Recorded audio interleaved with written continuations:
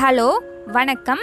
Welcome to Kannana கண்ணே channel இன்றைக்கி நம்ம என்ன பார்க்க போகிறோன்னா சிகப்பு அவள் யூஸ் பண்ணி மூன்று விதமான காலை மற்றும் இரவு உணவுகள் தான் எப்படி ப்ரிப்பேர் பண்ணலான்னு பார்க்க போகிறோம் இந்த உணவுகள் நீங்கள் ஏழு மாதங்கள் கம்ப்ளீட்டான குழந்தைக்கு தாராளமாக கொடுக்கலாம்.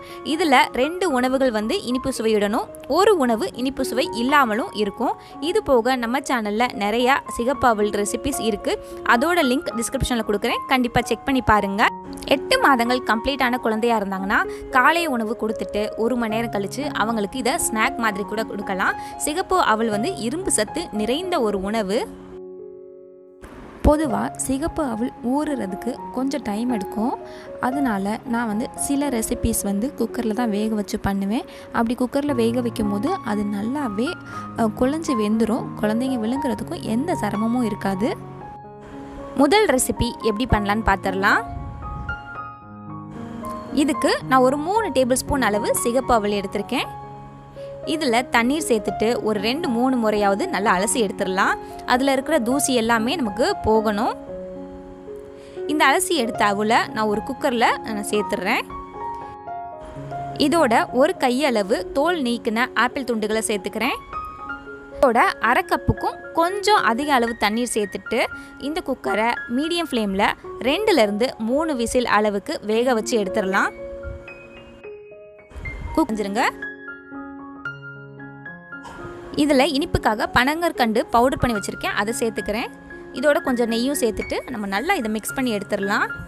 ரொம்ப ரொம்ப சத்துக்கள் நிறைந்த ஒரு உணவு. குழந்தைங்க விழுங்குறதுக்கும் ரொம்பவே ஈஸியாக இருக்கும்.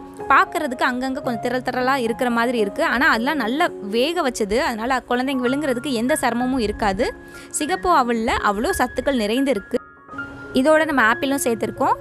ரொம்பவே ஒரு ஹெல்த்தியான பிரேக்ஃபாஸ்ட் இல்லை டின்னரில் ஸ்நாக்காக கூட இது நம்ம குழந்தைக்கு கொடுக்கலாம். கண்டிப்பாக இந்த ரெசிபி நீங்கள் ட்ரை பண்ணி பாருங்கள்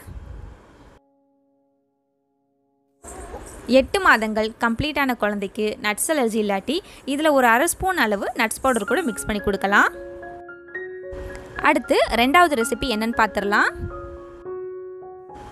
ஒரு தட்டில் நான் மூணு டேபிள் ஸ்பூன் அளவு சிகப்பு அவல் எடுத்திருக்கேன். இதில் இருக்கிற தூசியெல்லாம் நம்ம கை பார்த்துடலாம் ஏதாவது சின்ன சின்ன தூசியெலாம் இருந்துச்சுன்னா அது மாதிரி வெளியே எடுத்துடலாம். அதுக்கப்புறமா அதை மேலாப்பில் தூசிகள்லாம் இல்லாதபடி மேலாப்பில் அதை எடுத்துட்டு நம்ம மிக்ஸி ஜாரில் மாற்றிக்கலாம் இப்போ இதை நம்ம நல்லா பவுடர் பண்ணி எடுத்துக்கலாம்.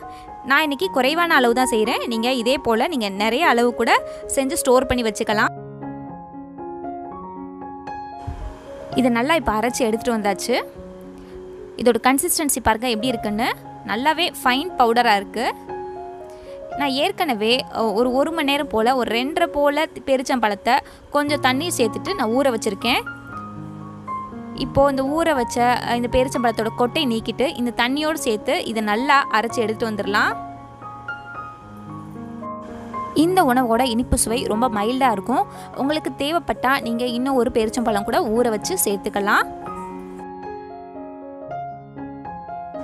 இப்போ இது நல்லாவே அரைப்பட்டுருச்சு எந்த வித சின்ன கட்டியும் கூட இல்லாதபடி நல்லா ஃபைனாக இதை அரைச்சாச்சு. இப்போ ஒரு பேனில் நம்ம நல்லா பவுடர் பண்ணி வச்சுருந்த சிகப்பு அவல் எடுத்துக்கலாம். இது ஒரு ரெண்டு டேபிள் ஸ்பூன் அளவு இருக்கும். இதோட நம்ம பேரிச்சம்பழத்தை நல்லா அரைச்சி வச்சுருந்தோம் இல்லையா? அதையும் சேர்த்துக்கலாம்.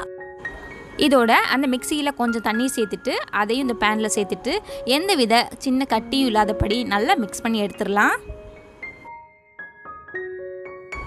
இப்போது இதை ஸ்டவ்வில் மாற்றிட்டு மீடியம் ஃப்ளேமில் இதை கைவிடாமல் நல்லா தொடர்ந்து மிக்ஸ் பண்ணலாம். ஒரு மூணு நாலு நிமிஷத்துக்குள்ளேயே இது அழகாக ரெடி ஆகிடும் இதோட கன்சிஸ்டன்சி பாருங்கள் எப்படி இருக்குன்னு. இந்த டைமில் நம்ம ஸ்டவ் ஆஃப் பண்ணிடலாம் இதுதான் சரியான கன்சிஸ்டன்சி இதில் கொஞ்சமாக நெய் சேர்த்துட்டு நம்ம இதை ஒரு பவுலில் மாற்றிடலாம் பாருங்கள் எந்த அளவுக்கு இந்த கன்சிஸ்டன்சி இருக்குன்னு. குழந்தைங்க விழுங்குறதுக்கு சரியான கன்சிஸ்டன்சி இதோட சுவை ரொம்பவே அருமையாக இருக்கும். பெரியவங்களாகிய நமக்கே இந்த சுவை ரொம்பவே பிடிக்கும். குழந்தைங்க மீதி வைக்க மாட்டாங்களா? நம்ம வெயிட் பண்ணுவோம். அந்த மாதிரி இருக்கும் இந்த சுவை. சிகப்பு அவலாக இருக்கட்டும் இல்லை பேரிச்சம்பழமாக இருக்கட்டும் ரெண்டுமே இரும்பு சத்து நிறைந்த ஒரு உணவு. கண்டிப்பாக இந்த ரெசிபி நீங்கள் ட்ரை பண்ணி பாருங்கள் உங்கள் வீட்டு குட்டீஸ்களுக்கு. எட்டு மாதங்கள் கம்ப்ளீட்டான குழந்தைக்கு நட்ஸ் அலர்ஜி இல்லாட்டி இதில் ஒரு அரை ஸ்பூன் அளவு நட்ஸ் பவுடர் கூட மிக்ஸ் பண்ணி கொடுக்கலாம். அடுத்தது மூணாவது ரெசிபி எப்படி பண்ணலான்னு பார்த்துடலாம் அதுக்கு ரெண்டு டேபிள் ஸ்பூன் அளவு சிகப்பு அவல் நான் எடுத்துக்கிறேன். இதை கொஞ்சமாக தண்ணீர் சேர்த்துட்டு நல்லா ஒரு ரெண்டு மூணு தடவையாவது அலசி எடுத்துடலாம். அலசி எடுத்த அவளை ஒரு குக்கரில் மாற்றிடலாம் இதில் இந்த சைஸ் இருக்கிற ஒரு உருளைக்கிழங்க தோல் சீவி நான் எடுத்து வச்சுருக்கேன். இதை நல்லா துண்டு துண்டாக நறுக்கிட்டு இதையும் குக்கரில் சேர்த்துடலாம். இதோட நான் ஒரு அரை கப் அளவு தண்ணீர் சேர்த்துட்டு ஒரு பிஞ்ச் அளவு சீரகம் சேர்த்துக்கிறேன். அதுக்கப்புறம் சின்ன பல் பூண்டு சேர்த்துக்கிறேன். இப்போது குக்கரை க்ளோஸ் பண்ணிவிட்டு மிதமான சூட்டில் ரெண்டுலேருந்து மூணு விசிலுக்கு இதை வச்சு எடுத்துடலாம். குக்கர் ஆவி அடங்கினதுக்கப்புறமா இதை ஓப்பன் பண்ணி பார்த்துடலாம்.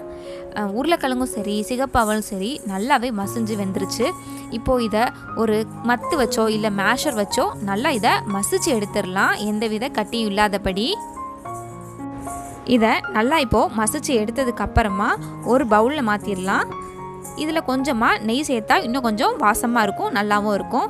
இதை நல்லா மிக்ஸ் பண்ணிடலாம் இப்போது இது ரொம்ப ரொம்ப சுவையாகவும் இருக்கும். நல்ல ஒரு சத்து மிகுந்த உணவு வேறு. உருளைக்கிழங்குலாம் சேர்த்துருக்கறனால இது குழந்தையோட வெயிட் கெயின் பண்ணுறதுக்கு ரொம்பவே உதவியாக இருக்கும். இனிப்பு சுவை பிடிக்காத குழந்தைக்கு இந்த மாதிரி நீங்கள் சிகப்பு அவளை செஞ்சு கொடுங்க. என்னோட குழந்தைக்கு இந்த ரெசிபி தான். ரொம்ப சின்ன குழந்தையா இருக்கும்போது இதுதான் நான் கொடுத்துருக்கேன். இதோட கன்சிஸ்டன்சியும் பாருங்கள் குழந்தைங்க விழுங்குறதுக்கு எந்தவித சிரமமும் இல்லாத ஒரு கன்சிஸ்டன்சி இதில் ஒரு பிஞ்ச் அளவு பெப்பர் தூள் கூட சேர்த்துக்கலாம். இன்றைக்கி பார்த்த இந்த மூணு ரெசிபீஸுமே உங்களுக்கு பயனுள்ளதாக இருந்திருக்கும் நம்புகிறேன் இனிப்பு சுவை பிடிக்கிற குழந்தையாக இருந்தாலும் சரி இனிப்பு சுவை பிடிக்காத குழந்தைங்களாக இருந்தாலும் சரி அவங்களுக்கு ஏற்றபடி இந்த ரெசிபீஸ்லாம் நீங்கள் ட்ரை பண்ணி பாருங்கள் ட்ரை பண்ணி பார்த்துட்டு அவங்க எப்படி சாப்பிட்டாங்கன்னு கீழே மறக்காமல் கமெண்ட் பண்ணுங்கள் இது மட்டும் இல்லைங்க நம்ம சேனலில் நிறைய பேபி ஃபுட் ரெசிபிஸ்லாம் ஷேர் பண்ணியிருக்கேன். பிரேக்ஃபாஸ்ட் ரெசிபிஸாக இருக்கட்டும் டின்னர் ரெசிபிஸாக இருக்கட்டும் லஞ்ச் ரெசிபிஸ் பேன்கேக் ரெசிபிஸ் எல்லாமே ஷேர் பண்ணியிருக்கேன். கண்டிப்பாக நம்ம சேனலோட டிஸ்கிரிப்ஷன் அதுக்கப்புறம் ப்ளேலிஸ்ட்லாம் செக் பண்ணி பாருங்கள் உங்களுக்கு கண்டிப்பாக பயனுள்ளதாக இருக்கும். இது போக உங்களுக்கு எந்த மாதிரி வீடியோஸ் வேணும் எந்த மாதிரி ரெசிபிஸ் வேணும் அதை பற்றி கீழே மறக்காமல் கமெண்ட் பண்ணுங்கள் கண்டிப்பாக அடுத்தடுத்த வீடியோஸில் நீங்கள் கேட்குற அந்த ரெசிபிஸ் பற்றி நம்ம சேனலில் நிச்சயமாக ஷேர் பண்ணுறேன் இந்த வீடியோ உங்களுக்கு பயனுள்ளதாக இருந்திருக்கும் நம்புகிறேன் இந்த வீடியோ பிடிச்சிருந்துச்சுன்னா மறக்காமல் லைக் பண்ணுங்கள் கமெண்ட் பண்ணுங்கள் ஷேர் பண்ணுங்கள் சப்ஸ்கிரைப் பண்ணுங்கள் நன்றி.